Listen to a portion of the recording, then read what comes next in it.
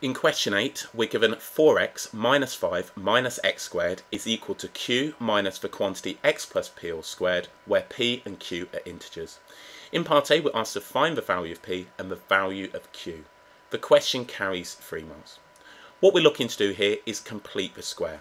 I'm just going to rewrite this in the form ax squared plus bx plus c.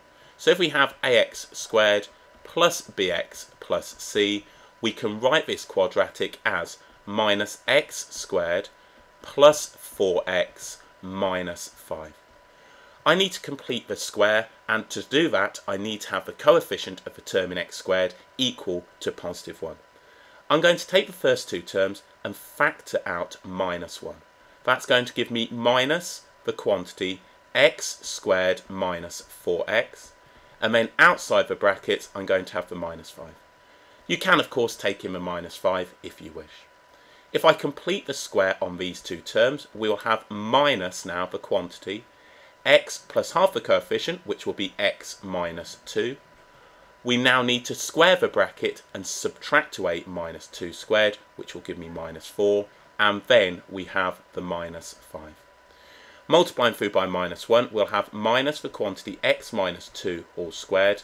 We will have plus 4 minus 5 and that will now give me, rewriting it in the form I want, minus 1 minus the quantity x minus 2 all squared and that now is in completed square form. So from here we can see that p will be equal to minus 2 and q will be equal to minus 1.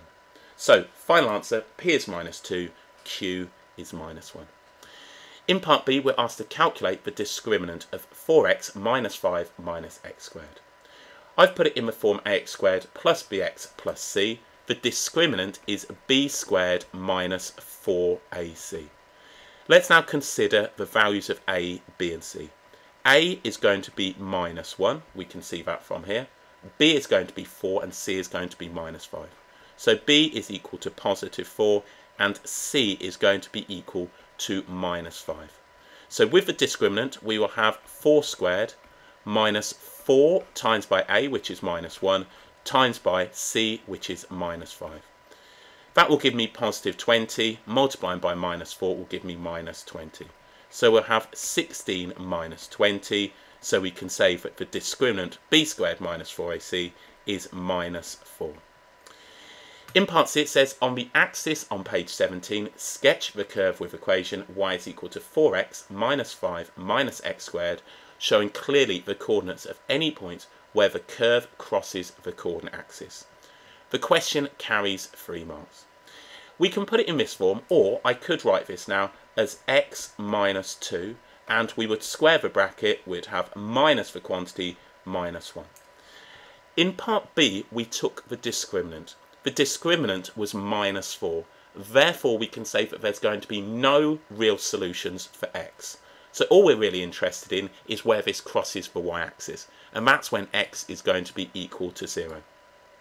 So here's my little sketch. And what I'm going to state at this stage now, we can say that b squared minus 4ac, and I'm just going to write it here, b squared minus 4ac less than 0, which gives us no real roots. So we're not going to have any points of intersection with now the x-axis. If we let uh, x be equal to 0, so now let x be equal to 0, y will be equal to minus, then we'll have 0 minus 2 squared minus 1.